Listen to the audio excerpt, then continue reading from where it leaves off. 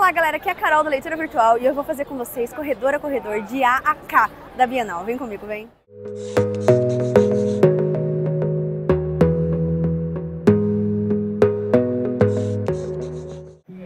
É isso mesmo que você ouviu, gente. Eu vim aqui na Bienal, cheguei bem cedinho e ao longo do dia eu consegui gravar para vocês todos os corredores da Bienal. Eu quero que vocês acompanhem comigo. Vamos lá? A gente já começa com ciranda cultural, gente. Bem na entradinha, tá? Ó. A entrada tá ali, ó. Tá vendo? Ciranda cultural. Livros a 15 reais. E vamos seguindo. Papelaria, já amei, né? Vocês sabem. Grupo editorial Portal. Meio fechado ainda, parece. Um stand da Amazon. Socorro.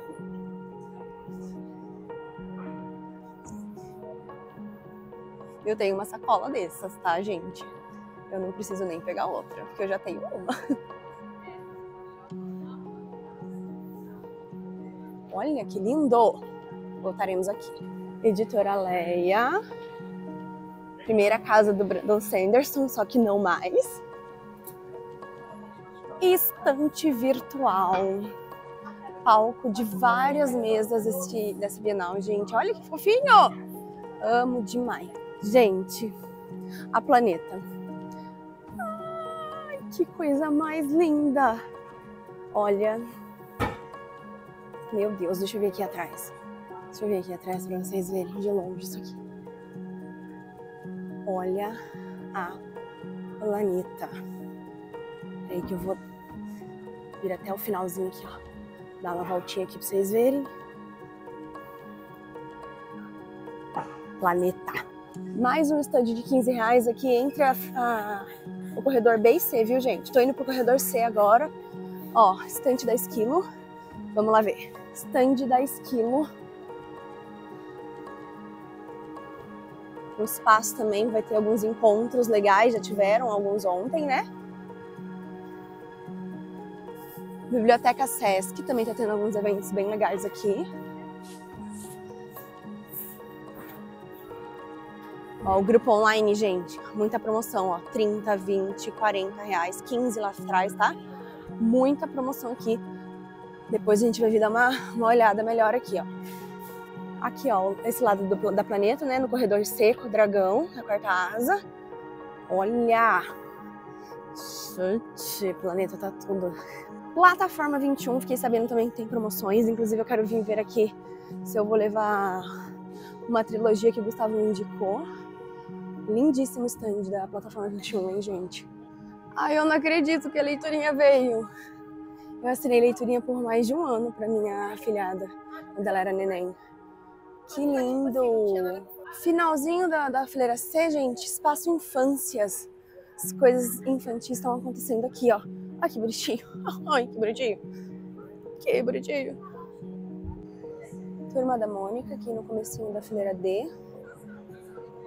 Tô fazendo zigue-zague, tá, gente? Então o começo é, na verdade, o final, tá? É, Panini ali, ó. Chegando na Panini. Stand da Panini imenso, como sempre, né? E não dá conta, porque sempre fica lotado. Também já assinei Turma da Mônica pra minha filhada. ai, ai, ai. Ela ganhou uma mochila do, do, do Samsung na época. Salão de ideias, também alguns eventos acontecem aqui bem no meio do corredor, entre o corredor D e o E, tá, gente? E o amor da minha vida. Peraí que eu vou mostrar pra vocês mais de perto. Gente, a Companhia das Letras é minha parceira, tipo, sete anos. Então é a editora do meu coração, porque foi a editora que eu mais li. E eu amo de paixão e o stand deles tá enorme. E eu vou mostrar pra vocês tudo. Ah, e hoje eu vou no encontro com a Paralela também. Vai ser muito legal.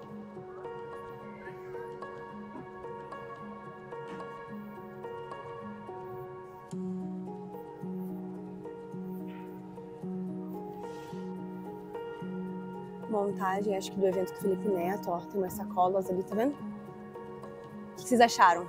Como enfrentar o ódio, Felipe Neto? Quero opiniões.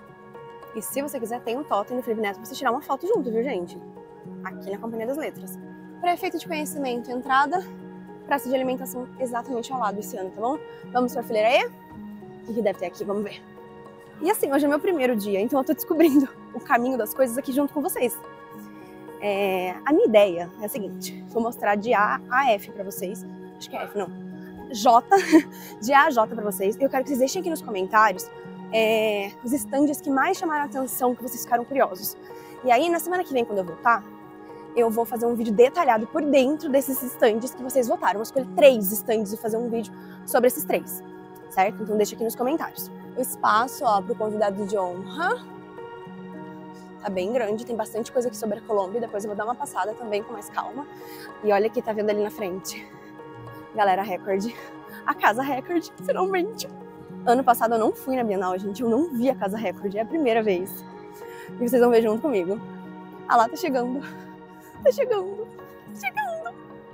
Meu Deus do céu. Tinha que ser a casa de todos os livros, né, gente? Meu Deus do céu. Olha que coisa linda. Não posso sair da fileira. A gente tá fazendo aqui um, um tour. Quem é fã da Lourinha aí? Quem é fã da Lourinha? Olha que coisa mais linda. Aqui é a parte de brindes, ó. Você compra as coisas, você retira seu brinde aqui. Ó. Uau. Stand do Sesc. Grandão também. Ó, e o lado oposto aqui da Panini também, que né, sempre pega duas fileiras para ela. Passei ali na Record de pegar o meu kit de parceria. Aqui, ó, esse rosinha. Tô louca pra abrir. Daqui a pouco eu vou abrir. Devo mostrar lá no Instagram, tá? Vocês estão me seguindo no Instagram? Gente, me sigam no Instagram porque lá a gente coloca as coisas em tempo real. Eu adoro YouTube, mas me sigam no Instagram também. Carol Mariotti, tá bom? Editora Aleph, uma editora que eu gosto muito, que eles têm algumas coisas de ficção científica que eu amo. Ai, tem o stand da Faber-Castell. E a Faber-Castell tá presente também. Agora eu vou mostrar pra vocês aqui, ó, gente. A nossa queridinha intrínseca. Gente, a intrínseca é chique, né? A intrínseca é toda elegante. Olha, eles têm a identidade deles todo ano e ela é toda elegante. Não é isso, gente. A, intrínseca é sempre elegante. Tem as cores sempre dela, sempre é, minimalista. Mas vocês não sentem isso quando vocês olham para a intrínseca? Tá aqui, ó, a gatona intrínseca. Especificado a entrada, né, como a organização da intrínseca, e é isso aí. Editora Melhoramentos, com bastante coisa do Ziraldo aqui, ó. Legal, hein? Harper Collins Brasil, olha só, Harlequin, parte de fantasia. Eles estão lançando uma, um novo selo Pitaia, teve até festa de lançamento sexta-feira, ontem, né? ó, mais vendidos, já tem mais vendidos ali, gente, ó. Harper Collins para vocês. O universo dos livros, tá apagadinho ainda, não, não dá na hora de entrar, o pessoal começou a correr, tá vendo? Eu acho que eles estão indo pegar alguma senha. Pode ser que já tenha aberto lá o portão, embora falte 10 minutos ainda para as 10.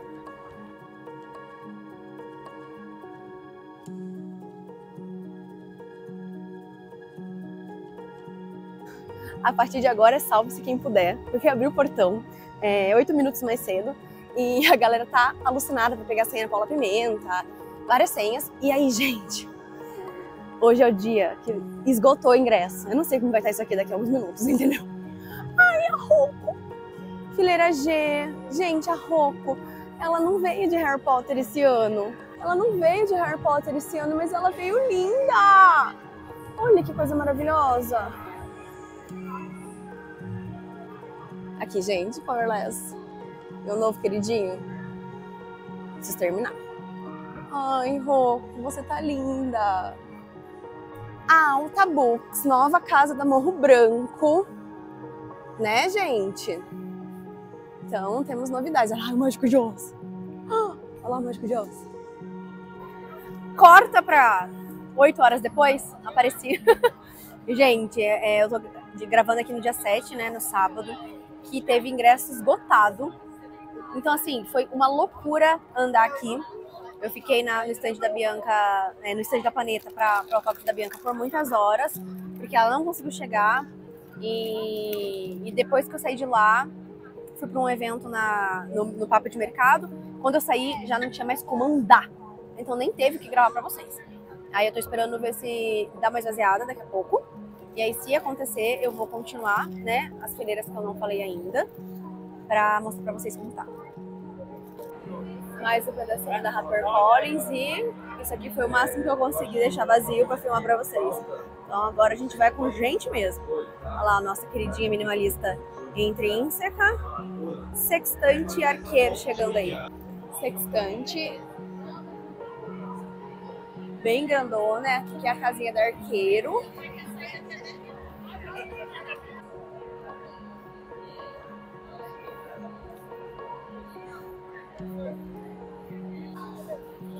Culturama.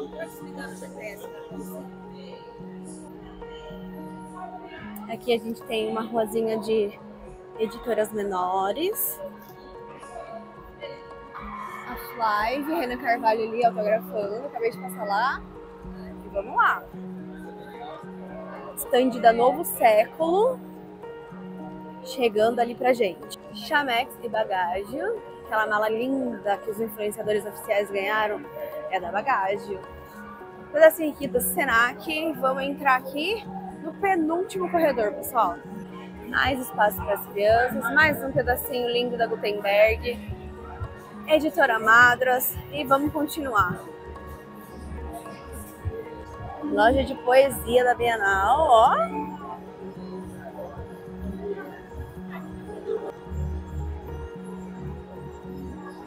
E a Alt, olha só, a Globo, tá lotado ainda aqui, ó, gente. Não sei o que tá acontecendo ali não, mas ainda tá cheio. São quase 8 horas da noite. A Cordel e Repente ali atrás, ó. Tá animado.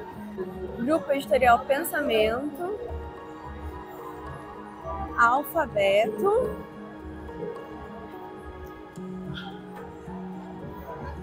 Último corredor, a gente tem Arena Cultural, tá lotado, não vou lá, tá bom? E aí aqui, ó, Café com Deus Pai, aquele livro que bombou. E vamos no último corredor, galera. Editora Vida, Grupo Editorial Pensamento chegando ali de novo. E aqui também vai estar cheio, mas eu vou mostrar pra vocês mesmo assim, gente. Olha o tamanho do estande do Cordel Repente esse ano. Tá tendo apresentação, tá bem animado. A Arena Esquilo, e ali, gente, tem uma travessa literária, né, que são alguns pontos para escritores e artistas independentes poderem mostrar o seu trabalho também tá muito legal de visitar, tá? Foi isso, gente. Eu espero que vocês tenham gostado. É, quis mostrar um pouco do que é andar pelos corredores da Bienal, caso você não tenha vindo, nunca tenha vindo, ou se você vai vir semana que vem, já saber por onde olhar, o que ver, o que você quer ver. Então esses foram os corredores de AK, corredor a corredor para você. E aí não esquece de deixar aqui nos comentários os três estantes que vocês mais ficaram curiosos, que eu vou pegar os mais votados e fazer um videozinho para vocês na semana que vem, quando eu voltar, tá bom? Não esquece de se inscrever no canal, dar aquele joinha e voltar aqui no próximo vídeo, tá bom, gente? Um beijo. Tchau, tchau.